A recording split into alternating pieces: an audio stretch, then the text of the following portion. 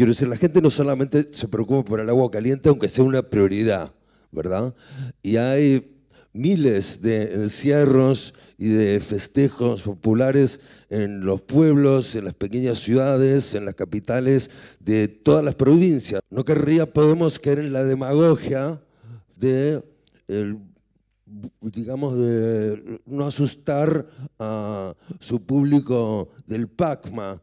Y parece que si vamos a pensar en derechos humanos, en asuntos culturales, me parece que la de Podemos podría ser una posición un poco más clara para que la gente que lo va a votar sepa que no le van a sacar sus encierros, sus festejos, sus corridas de toros, que son el folclore y que son la cultura de toda España, si se me permite decir todavía toda España. Gracias, Irene.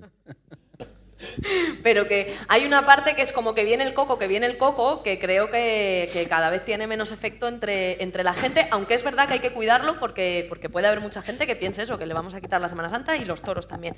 Con el tema de los toros en concreto, y sin querer escurrir el bulto, creo que ahí hay una parte que tiene que formar parte más bien de un debate ciudadano, o sea, creo que no es una cosa que pueda decretar un partido, y que, como tú bien dices, es una cosa que tiene por una parte mucho rechazo popular y por otra mucho respaldo popular en según qué sitios y en según, y en según qué, tradiciones también, y que entonces tiene que formar parte el debate de los toros, digamos, en general, de, un debate en la ciudadanía en la, que pueda, en la que pueda decidir. Esto de que los partidos tenemos que tener todas las soluciones a todas las cosas, pues no, pues hay veces que la gente votando tiene que decidir lo que, lo que quiere que pase.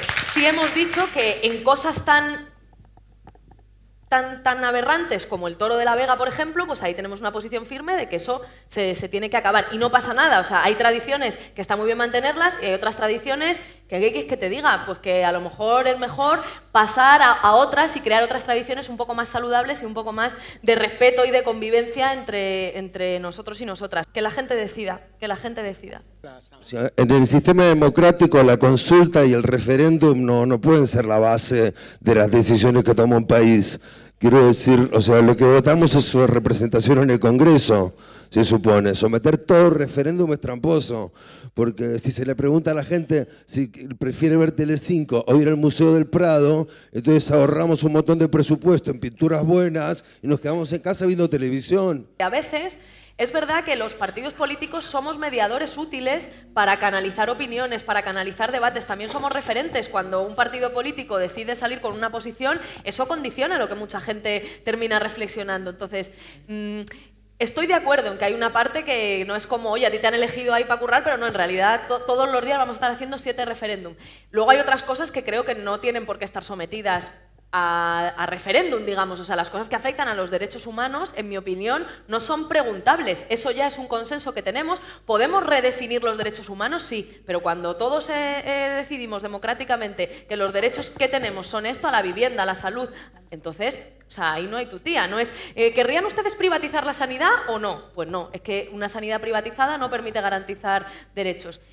Entonces creo que ahí, pues no sé, que es un debate muy importante, pero al respecto de cómo se organiza la democracia, pero yo creo que, que, claro, no se puede estar preguntando todo el día, pero hay temas que es necesario, es necesario preguntar y que no pasa nada tampoco, ¿eh? que no, no se hunde el mundo porque alguien vaya un día a una urna y diga, y diga lo que piensa.